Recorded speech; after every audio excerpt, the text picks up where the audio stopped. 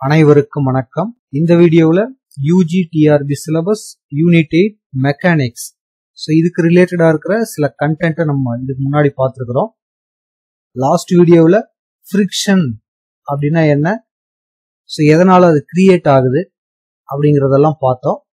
So இந்த வீடியோவில் coefficient of friction so exam ஓரியன்டாக வெரி வெரி இம்பார்ட்டன்ட் கண்டென்ட் ரொம்ப ரொம்ப சிம்பிளான ஒரு டாபிக் தான். பார்க்கலாம் பாருங்கள் கோஎப்ஷன்ட் ஆஃப் ஃப்ரிக்ஷன் பொதுவாக இதை நம்ம மியூ அப்படின்னு நோட்டேட் பண்ணுவோம். ஸோ இது போறதுக்கு முன்னாடி ஒரு சர்ஃபேஸ் மேல ஒரு ஆப்ஜெக்ட் நம்ம இது மாதிரி வைக்கிறோம் அப்படின்னா நார்மலா இது மேல என்னென்ன ஃபோர்ஸ் எல்லாம் ஆக்ட் ஆகும் அப்படிங்கிறது கண்டிப்பா நமக்கு தெரியணும். பொதுவாக இந்த ஆப்ஜெக்டோட வெயிட் டவுன்வர்ட்ஸ்ல இது மாதிரி ஆக்ட் ஆகும். தட் இஸ் டபிள்யூ நெக்ஸ்ட் பாத்தீங்கன்னா இந்த வெயிட்னால ஒரு நார்மல் ஃபோர்ஸ் இந்த சர்ஃபேஸுக்கு டைரக்டா ஆப்போசிட்ல ரியாக்ட் ஆகும். தட் இஸ் ஆர் அதே மாதிரி பாத்தீங்கன்னா இந்த ஆப்ஜெக்ட் எந்த பக்கம் மூவ் ஆகணும் அப்படின்னு நினைக்குதோ அதுக்கு ஆப்போசிட்ல ஃப்ரிக்ஷன் ஃபோர்ஸ் இதெல்லாம் நம்ம ஆல்ரெடி பார்த்துருக்குறோம். இந்த டைரக்ஷன்ல ஆக்ட் ஆகும். அதாவது ஒருவேளை எக்ஸ்டர்னல் ஃபோர்ஸ் இந்த பக்கம் ஆக்ட் பண்ணோம்னா அதை ஆப்போசிட் பண்ற மாதிரி ஃப்ரிக்ஷனல் ஃபோர்ஸ் இந்த பக்கம் ஆக்ட் ஆகும். ஸோ இது பார்த்தீங்கன்னா ஜென்ரலான ஒரு விஷயம்தான். இதுல எப்போ இந்த நார்மல் ரியாக்ஷனும் இந்த ஃப்ரிக்ஷனல் ஃபோர்ஸும் ஈக்குவலா இருக்குதோ அப்போ இந்த ஆப்ஜெக்ட் ரெஸ்ட்ல இருக்குது அப்படிங்கிறது மீனிங் ஸோ இந்த ஆப்ஜெக்ட் மூவ் ஆகுது அப்படின்னா அப்ப நிலைமை வேற.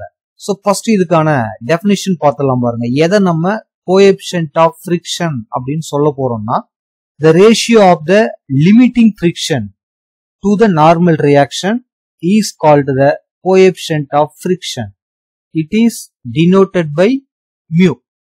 So உங்களுக்கு லிமிட்டிங் ஃப்ரிக்ஷன் அப்படின்னா என்ன நம்ம ஆல்ரெடி பார்த்துருக்குறோம் அதாவது ரெஸ்ட்ல இருக்கிற இந்த ஆப்ஜெக்ட் எந்த செகண்ட்ல மூவ் ஆக ஸ்டார்ட் ஆகுதோ அதாவது மூவ் ஆகிறதுக்கு ரெடியா இருக்கிற அந்த டைம்ல இருக்கிற அந்த மேக்சிமம் ஃப்ரிக்ஷனை தான் நம்ம லிமிட்டிங் ஃப்ரிக்ஷன் அப்படின்னு சொல்லுவோம் அதுக்கும் நார்மல் ரியாக்ஷன் அதாவது அதுக்கு பெர்பெண்டிகுலரா இந்த ஆப்ஜெக்ட்டுக்கு பெர்பெண்டிகுலரா ஆக்ட் ஆகிற இந்த ஃபோர்ஸுக்கும் இருக்கிற அந்த ரேஷியோவை தான் நம்ம கோஎப்ஷன்ட் ஆஃப் ஃப்ரிக்ஷன் அப்படின்னு சொல்ல போறோம். ஸோ ரேஷியோ அப்படிங்கிறதுனால ஃப்ரிக்ஷன் எஃப் நோட்டேட் பண்ணுவோம். நார்மல் ரியாக்ஷன் ஆர் நோட்டேட் பண்றோம்.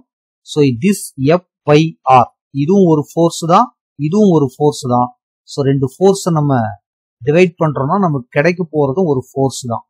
தட் இஸ் மியூ ஸோ இதுதான் கோஎப்ஷன்ட் ஆஃப் ஃப்ரிக்ஷன் ஸோ இந்த ஃபார்முலாவை நம்மள எக்ஸாம்ல கேட்கறதுக்கு நிறையவே சான்ஸ் இருக்குது.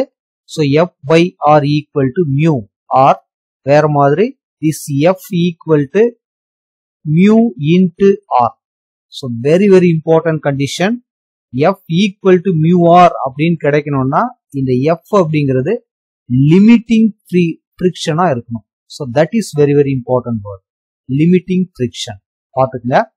நெக்ஸ்ட் இங்கிருந்து நம்ம ஒரு அனதர் இம்பார்ட்டன்ட் ரிசல்ட்டை டெரைவ் பண்ண போறோம். ஸோ அதுக்கு ஃபர்ஸ்ட் நமக்கு தெரிய வேண்டியது ரிசல்டன்ட் ஆஃப் ரியாக்ஷன் ஸோ ரொம்ப ரொம்ப சிம்பிளான ஒரு கான்செப்ட் தான். ஃப்ரிக்ஷன் ஃபோர்ஸ் இப்படி ஆக்ட் ஆகிறதா வச்சுக்கோ. தட் இஸ் எஃப் கண்டிப்பா அப்போ இதுக்கு பெர்பெண்டிகுலரா ஒரு நார்மல் ஃபோர்ஸ் அதுவும் ரியாக்ட் ஆகும்.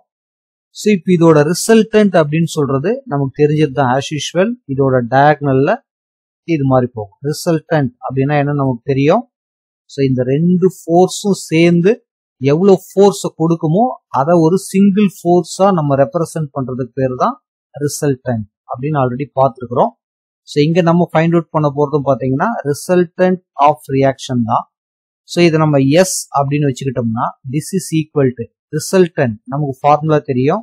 ஸ்கொயர் ரூட் ஆஃப் இந்த ரெண்டு ஃபோர்ஸை ஸ்கொயர் பண்ணுவோம். That is F square plus R square plus two F R cos theta அப்படின்னு போடுவோம். ஆக்சுவலா இங்க டீட்டா அப்படிங்கிறது angle between these two force ninety degree so cos ninety degree என்ன வேல்யூ அப்படின்னு உங்களுக்கு தெரியும். ஜீரோ ஆயிடும். அப்ப நமக்கு இதோட ரிசல்டன்ட் அப்படிங்கிறது S equal to root of F square plus R ஸ்கொயர்னு வரும். So S equal to root of F square plus R square so இந்த ரிசல்ட் கூட எக்ஸாம்பிள் நம்மள கேட்கலாம். ஸோ நெக்ஸ்ட் நம்ம பார்க்க போகிறது பாத்தீங்கன்னா ஆங்கிள் ஆஃப் ஃப்ரிக்ஷன் ஸோ இப்போ இந்த ரிசல்டன்ட்டுக்கும் இந்த நார்மல் ரியாக்ஷனுக்கும் இருக்கிற இந்த ஆங்கிளை நம்ம டீட்டா அப்படின்னு எடுத்துட்டோம்னா நமக்கு இந்த டயக்ராம் இது மாதிரி மாறுமா பாருங்க. ஸோ இதே டயக்ராம் தான் நம்ம ஏன் ஆங்கிள் இந்த இடத்துல எடுக்கல இந்த இடத்துல எடுக்கிறோம் அப்படின்னா ஆக்சுவலா இந்த ஃப்ரிக்ஷன் ஃபோர்ஸ் இன்க்ரீஸ் ஆக இன்க்ரீஸ் ஆக இந்த ஆங்கிள் வந்து பார்த்தீங்கன்னா ரெடியூஸ் ஆகிட்டே வரும். ஸோ எந்த ஆங்கிள் இன்க்ரீஸ் ஆகுதோ அதை தான் ஆங்கிள் ஆஃப் ஃப்ரிக்ஷன் அப்படின்னு நம்ம சொல்ல போறோம். ஸோ அது ரிசல்டன்ட்டுக்கும் இந்த நார்மல் ரியாக்ஷனுக்கும் இருக்கிற இந்த ஆங்கிளாக தான் இருக்கும் ஸோ இப்போ இந்த ஃப்ரிக்ஷன் ஃபோர்ஸோட மாடுலஸ் வேல்யூ இந்த லென்த் இருக்கு அப்படின்னா இதை எக்ஸ்டெண்ட் பண்ணி பாருங்க. ஸோ இதே லென்த்து கிடைக்குதுன்னு வச்சுப்போம். இப்போ ஆக்சுவலா இது ஒரு நார்மல் லைன் அப்படிங்கிறதுனால இந்த இடத்துல 90 டிகிரி கிரியேட் ஆகிடும் ஸோ இப்போ நமக்கு இந்த ஆங்கிள் வேணும்னா நம்மக்கிட்ட என்னென்ன இருக்கு பாருங்க. இது ஆறு இது எஃப்னா இதே லென்த் தான் இங்கும் இருக்கு. ஸோ அப்போ இதை எஃப் அப்படின்னு சொல்லலாம். ஸோ டேன் டீட்டா அப்படின்னு எழுதுனீங்கன்னா this is equal to opposite side divided by adjacent side. That is f by r அப்படின்னு கிடைக்கும். ஸோ ஆல்ரெடி நம்ம பார்த்துட்டு வந்திருக்கிறோம் இந்த எஃப் by ஆர் அப்படிங்கிற இந்த ரேஷியோ பேர் தான் கோஎப்ஷன்ட் ஆஃப் ஃப்ரிக்ஷன் அப்படின்னு நம்ம சொல்லியிருக்கிறோம். அப்போ இந்த டேன் தீட்டா அப்படிங்கிறது this is equal to mu அப்படின்னு எழுதலாம். ஸோ இந்த ரிலேஷன் நமக்கு என்ன சொல்லுது அப்படின்னா the coefficient of friction always equal to the tangent of the angle of friction அப்படிங்கறதா இந்த ரிலேஷன் ஸோ இதையும் நம்மள எக்ஸாம்பிள் கேட்க நிறையவே சான்ஸ் இருக்குது. Very very important result so next அந்த இன்க்ளைன்டு பிளேன் நம்ம நெக்ஸ்ட் வீடியோவில் பார்க்கலாம். இப்போதைக்கு இதுக்கு ரிலேட்டடாக இருக்கிற எக்ஸாம் ஓரியன்ட் ஈஸியஸ்ட் கொஷினை பார்க்கலாம் பாருங்க. கொஷின் நம்பர் ஒன் ஸோ இப்போ நம்ம சொன்ன விஷயங்களை ரீகால் பண்ற மாதிரி இருக்கிற கொஷின்ஸ் தான் இது எல்லாமே. எஃப் அப்படிங்கிறது லிமிட்டிங் ஃப்ரிக்ஷனா இருக்கணும். ஆர் அப்படிங்கிறது நார்மல் ரியாக்ஷனா இருக்கணும். மியூ அப்படிங்கிறது கோஎப்ஷன்ட் ஆஃப் ஃப்ரிக்ஷனா இருக்கணும் அப்படின்னா இங்க இருக்கிற என்ன கண்டிஷன் எக்ஸிஸ்ட் ஆகும் அப்படிங்கறத நம்ம பார்க்க போறது. ஸோ ஏற்கனவே பார்த்துட்டோம். This coefficient of friction mu equal to limiting friction by normal reaction அப்படின்னு பார்த்துருக்கிறோம். ஸோ அப்போ F equal to mu R அப்படின்னு வரும். So option A is the right answer very very important result பார்த்துக்கோங்க. Next question number two when friction is non limiting so this is very very important one limiting ஃப்ரிக்ஷனா இருந்தா F equal to mu R அப்படின்னு பார்த்தோம்.